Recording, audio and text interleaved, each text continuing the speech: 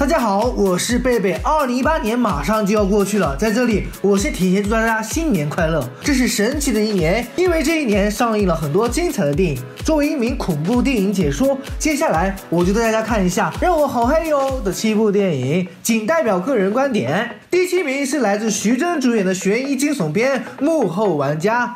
我求求你了，快把账户密码告诉我。你告诉我钟南怎么了？你把钟南怎么了？你说话。是谁要杀你？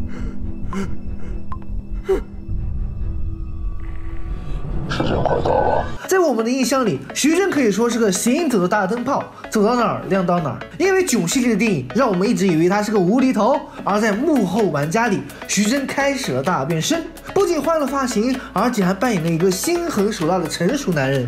生活在上流社会的他，本来就是个不愁吃不愁穿，家里还有漂亮老婆的亿万富翁。可惜人的欲望总是填不满，他喜欢钻漏洞，搞一些不可告人的商业诈骗。不是不报，时候未到。就在睡梦中，他不知不觉遭到绑架，被囚禁在一个密室里，摄像头三百六十度无死角的监视，每天被胁迫做出各种丢掉尊严的选择题。只有做出这些羞耻的选择题，才能获得暂时的自由，就好像电击惊魂般，让人生不如死。后来又上映了真人版密室逃脱，好不容易逃出了密室，才发现凶手挖了一个更深的坑。自己的好兄弟竟然是陷害自己的凶手，终于找到凶手了，却发现真凶另有其人，自始至终都有种被幕后人牵制操控着的感觉。这部电影最吸引人的还应该是它的封闭空间的题材。网上好多人都说这部电影很垃圾，但是我觉得这部电影就是好看。密室逃脱的形式可谓十分亮眼，而且国内这种悬疑片本来就少，不错啦。第六名是根据史蒂芬金小说手机拍摄的恐怖片《夺命来电》。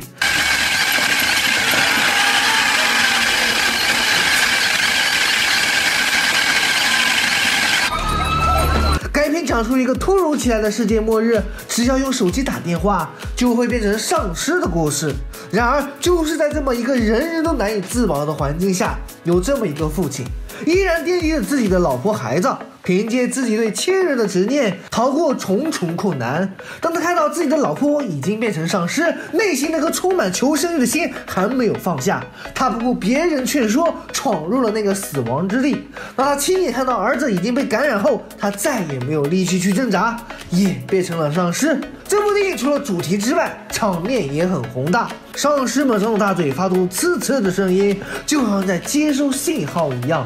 相同的表情，相同的动作，数以万计的丧尸围着一座信号塔，灾难感十足。尤其是火烧丧尸那段，简直牛叉到爆。影片中丧尸也不同于其他电影那么血腥，而是通过动作、神态来呈现其属性，显得更加真实。最出彩的就应该是这个题材了，通过手机让人中毒，表明人类对手机的依赖已如同影片中行尸走肉，呼吁大家回归自然生活，不错吧？第五名是来自国内的一部犯罪悬疑片，它就是豆瓣八点二分的《爆裂无声》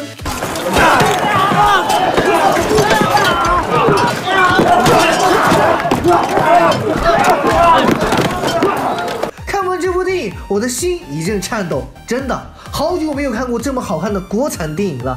看完心里真的有种恐慌感。他将不同层次人物的心理表现的是淋漓尽致，而且结局特别出彩。我相信此片一定会成为编导艺考生的必看电影。片中的男主是个不会说话的哑巴。此人生来与众不同，他不畏强权，重情重义，更是一位好父亲。和夺命来电一样，都是寻找自己丢失的孩子。不同的是，他面对的那些人要比光会哇哇乱叫的丧尸复杂的多。里面领着锦旗、受着爱戴的大老板看似好人，面对前来找事的男主也是以礼相待。殊不知，他就是个流氓。不仅非法霸占土地，还通过收买受害家属为自己减刑。电影的结尾更是让观众一阵惊悚。本以为大老板和孩子没有关系，谁能想到一个孩子的话却暴露了整个真相？画上一个人拿着一支弓箭射死了一个小孩。妈呀，神结尾！你们说对不对？第四名来自国际巨星李冰冰主演的《巨齿鲨》。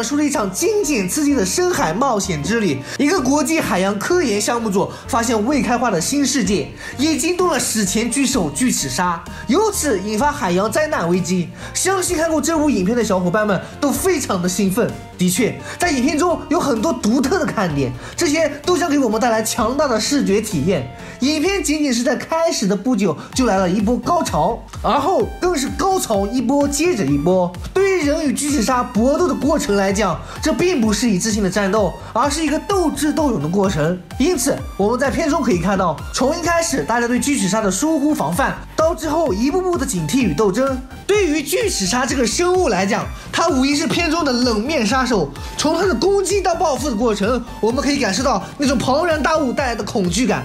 与此同时，片中的主角在与巨齿鲨斗争中展现出惊人的胆识和智慧。在这波人鲨大战里，视听效果可以说是绝佳的。同样，他所塑造的深海世界也是格外的引人入胜。对于《巨齿鲨》这部电影来讲，它带给人的是一种沉浸式的体验，演员的演技也是全程在线。李冰冰和杰森斯坦森的全新组合也让人眼前一亮。作为一部爽片，去影院里享受尖叫绝对是没错的。第三名是一部穿越的恐怖片《忌日快乐》。Oh, nobody told me that's what I mean. Don't you see? I know what is going to happen before it happens. Lori. Lori, somebody's gonna kill me tonight.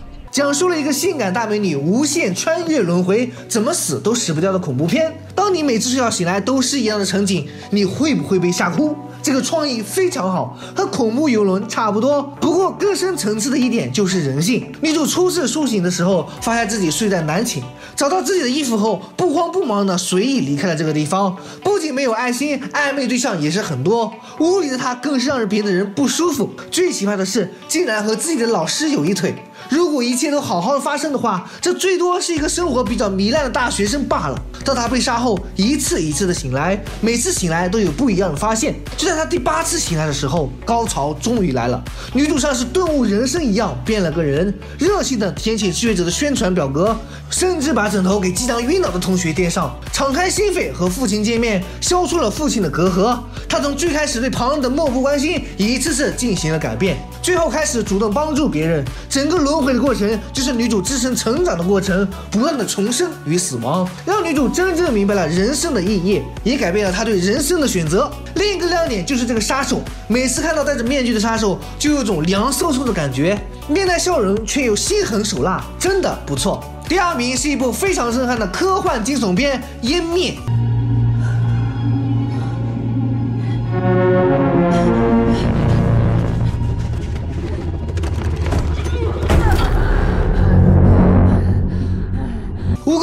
为了拯救人类，来到了全新的未知地带。殊不知，这里已经受到外星人的感染，得到变异，环境诡异又统一。斑斓的大片真菌与腐烂的躯干蔓延在泳池墙壁。长着鲨鱼牙齿的巨鳄和会模仿声音的大熊，失去希望的女人长作一棵人形的树。这惊恐的现象，与其看作是外星人对地球的基因入侵，更像是外星生命与地球的一次相遇。那种茫然失措的感觉，仿佛让人像个气球漂浮在空中，控制不了自己。最后登场的皮裤外星人，竟然是人类的复制体，给人的感觉还是挺新鲜的。恶心中带着点诡异，诡异中还有一点美感。第一名是我最喜欢的恐怖片《寂静之地》。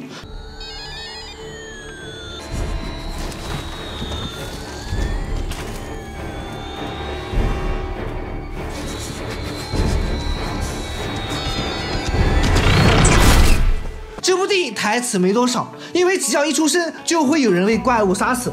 全片看的人是紧张刺激，坐立难安，实在是一部很棒的恐怖片。人类濒临灭绝，这些怪物根据声音对人类猎杀，唯有保持安静才能生存。片中一家人不得不通过手语进行交流，避免因发出声音而被怪物猎杀。最危急的时刻，一家四口或是屏住呼吸，或是沉默奔跑，没有咋咋呼呼的尖叫和失措。记得在电影院看的时候，都不敢把爆米花咬出声来。其中有一场戏真的牛逼，母亲即将产子，恰逢怪物闻声而来，强忍着分娩的痛楚，却不能发出任何声音的母亲已经忍耐到极限，汗水和泪水在面庞上交织。而此时，怪物已经感受到了些许动静，一步步向她靠近。女主躺在浴缸中，表情扭曲，痛苦万分，却强忍着不敢出声，着实让人捏一把汗。表现真的太赞了。这部电影是真的好看，扣人心弦，每一秒都有一种无形的压力。好了，二零一八年恐怖电影盘点就到这里了，喜欢就关注我哦，拜拜。